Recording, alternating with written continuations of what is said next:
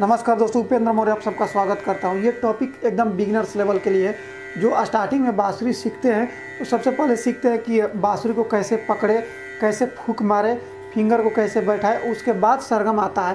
तो आज मैं बताऊँगा कि सरगम बजाने का प्रॉपर तरीका क्या होता है और सरगम को कैसे उसका ब्यूटिफिकेशन करेंगे, कैसे मेलोडी लाएँगे सरगम में और उसका कैसे अच्छे से रियाज करेंगे तो आपका सरगम जो है ना एकदम प्रॉपर बन जाएगा। जब सरगम जब सीख जाएँगे, तब आगे का प्रोसेस जो है ना, वो बहुत सरल हो जाता है। आपका सरगम जो है ना, ये बहुत बेसिक ज्ञान मतलब क्या बताए, ये बैकबोन होता है। आपका सरगम बहुत अच्छा होना चाहिए। आप कितना भी ज्ञानी हो गए, कितना भी बाँसुरी बजा लेते हैं, फिर भी लोग सरगम का रियाज करते हैं।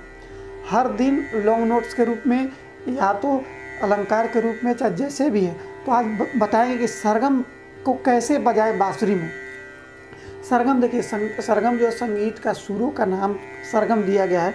सरगम जो है ना ये शॉर्टकट है, जो स र ग म ये शॉर्टकट दिया जो सात सुर होते हैं, उसका पहला जो लेटर होता है ना, उसको काट के जो है कि चार चार जो है, चार सुरों को जो प्रथम लेटर काट के उसको बनाया गया है। यह एक मतलब क्या बोलते हैं, संक्षिप्त रूप है। जैसे सरगम जो सात सुर होते हैं, उसका नाम क्या है? स से सड़ज हो गया, र से ऋषभ हो गया, ग से गंधार हो गया, म से मध्यम हो गया, प से पंचम हो गया, धा से धैवत हो गया और नी से निषाद हो गया। तो स्टार्टिंग का जो स्टार्टिंग का जो चार है सड़ज ऋषभ, गंधार और मध्यम तो उसका पहला लेटर जब काटिएगा तो होता है सरगम। सरगम देखिए, ये बनाया गया एक फ्रीक्वेंसी के आधार पर, जो साउंड का जो फ्रीक्वेंसी होता है उसी के आधार पे जो धीरे धीरे धीरे धीरे बढ़ते, क्रम में घटते, क्रम में जैसा भी हो, मोटा वाली उसको ना, इसको सुर के रूप में जो है कि एक, इसको सुरों के रूप में जो है कि सजाया गया कि सात सुर से जो है ना कि हमारा संगीत जो है कि एक संगीतबद्ध हो जाता है, संगीत बन जाता है। ठीक है, उसके बाद आते हैं, कोमल स्वर भी होता है तीव्र स्वर भी होता है, वो शुद्ध स्वर में नहीं आता शुद्ध स्वर जो होता है, वो आपका साथ ही स्वर, साथ ही होता है। सा रे ग म प ध नी। तो ये चीज़ है। तो इसको बाँसुरी पर कैसे बजाएँगे? देखिए, बाँसुरी के जो है, सबसे पहले मैं बता रहा हूँ कि इसको ब्लोइंग होल बोलते हैं, ठीक है? जहाँ से हम लोग फूकते हैं। और इसको जो है कि देखिए, ऊपर का तीन होल और नीचे का भी तीन होल इसको दोनों हाथ का फिंगर रखते हैं। जो तीनों जब फिंगर रखते हैं तो तो आपको तीन, ऊपर का एक हाथ में तीन आता है और एक हाथ में भी तीन आता है। तो इसको जो, जब फिंगर रखते हैं तो उसको क्या बोलते हैं? इसको ब्लोइंग इसको बोलते हैं फिंगरिंग होल बोलते हैं, जहाँ फिंगर रखते हैं, और इसको जो फूकते हैं, उसको ब्लोइंग होल बोलते हैं। तो फिंगरिंग होल से जो है कि आपको बताएँगे कि कि कैसे रखना है ताकि सरगम बजेगा। देखिए, ऊपर का जो तीन होल होता है अब ध्यान से सुनिएगा, मैं स्टार्ट कर रहा हूँ अपने जो टॉपिक है।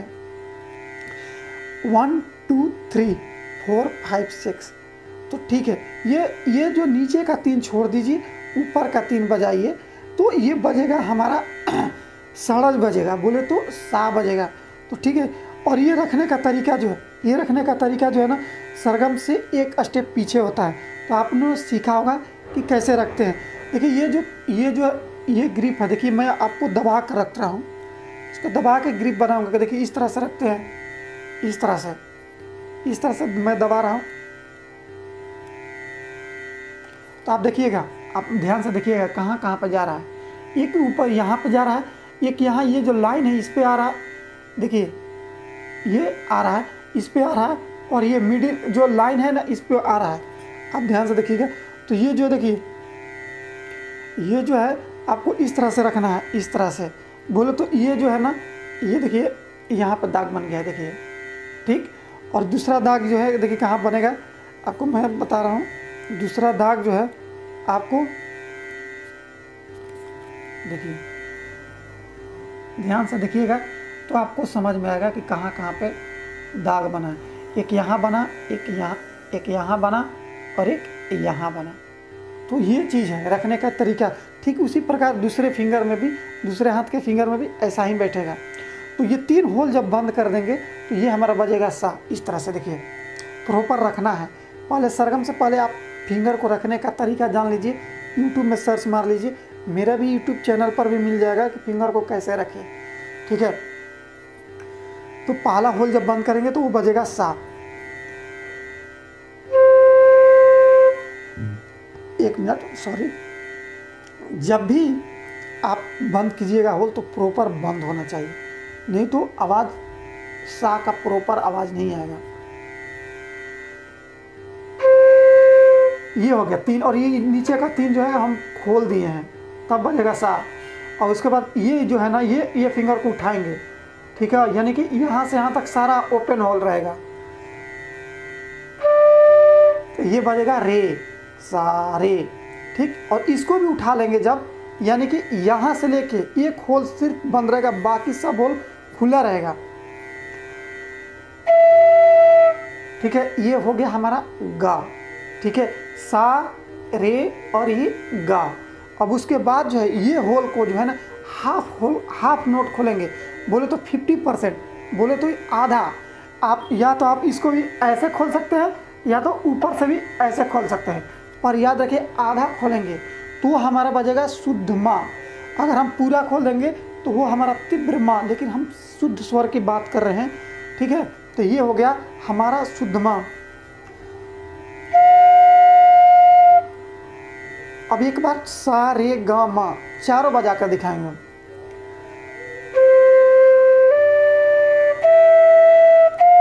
अगर आप बिगिनर्स हैं तो सांस को रोक रोक कर बजाइए इस तरह से।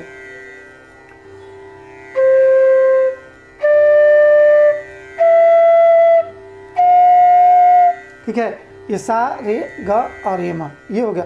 अब हम सारा होल बंद कर देंगे। तो ये हमारा बजेगा पा, शुद्ध पा।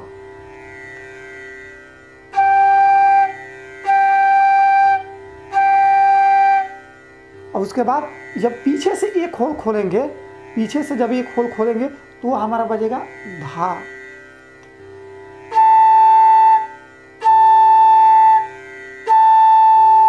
ठीक? और पीछे से दूसरा होल भी खोल देंगे, यानी कि ऊपर वाला सब बंद रहेगा, याद रखिएगा।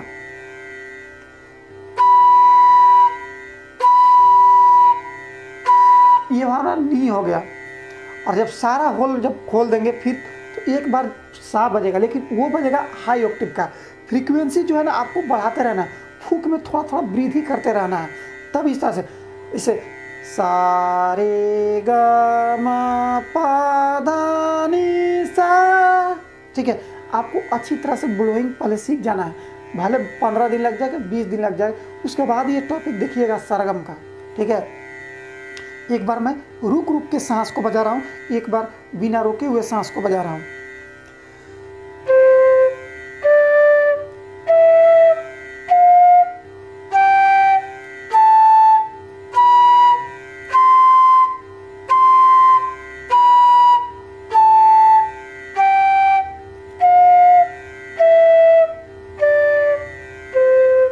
उल्टा भी इसी तरह से। आपको पहले वोकल में कर लेना है, याद कर लेना। सा रे ग म प दा नी सा सा नी ध प म ग रे सा। इस तरह से। अब इसको प्रैक्टिस हम कैसे करेंगे? देखिए, पहले क्या करना है? पहले ऊपर वालों को क्लियर करना है, ठीक है?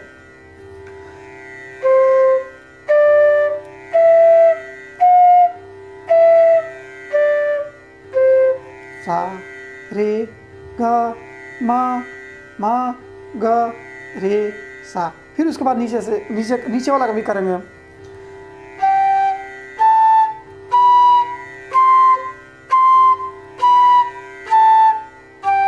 इस तरह से। एक बार फिर करेंगे पूरा, शुरू से।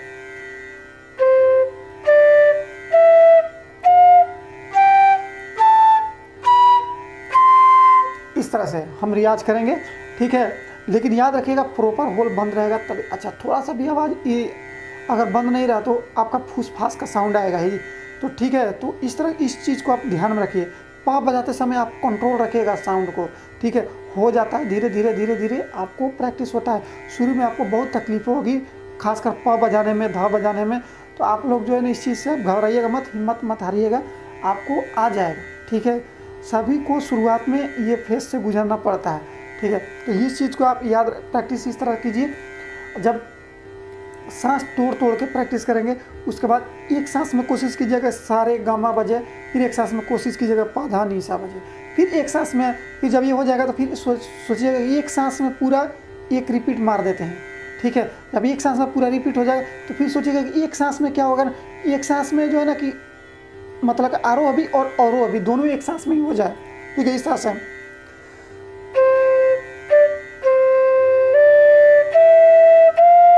सांस खत्म।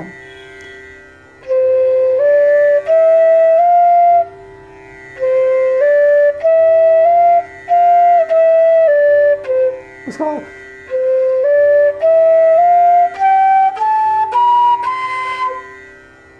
ठीक, उसके बाद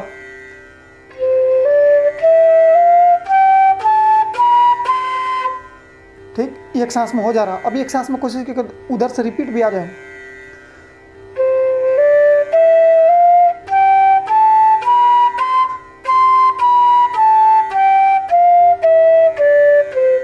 हालाँकि मैंने सांस ब्रेक कर दिया लेकिन ब्रेक नहीं करना है इस तरह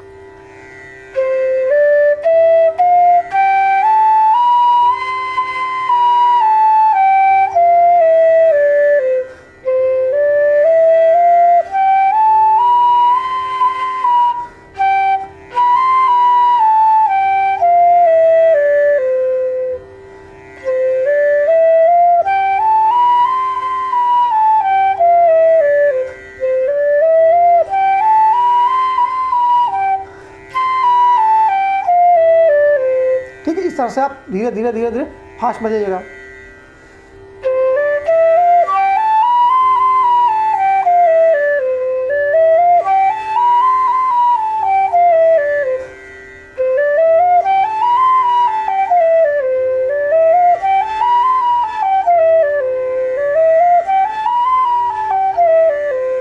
इस तरह से आप प्रैक्टिस कीजिए, खूब प्रैक्टिस कीजिए, ठीक है? आपको दिक्कत कहाँ पे आएगी? यहाँ से माँ से पा जब बजेगा ना, तब तो दिक्कत आएगी। क्योंकि यहाँ के बाद चेंज हो जाता है पूरा आवाज़, ठीक है? यहाँ के बाद जो है ना, एक एक सर्किट चेंज होता है, मान के चलिए, एक, ये जो है ना, यहाँ पे बाद फिर रिदम चेंज होता है यहाँ पे।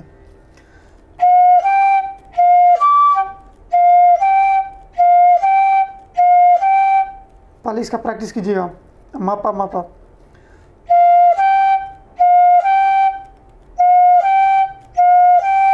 तो ये होता है आपका सरगम का पूरा डिटेल्स लेसन तो आप उम्मीद करता हूँ कि समझ में आया होगा। ये बिगनर्स के लिए है।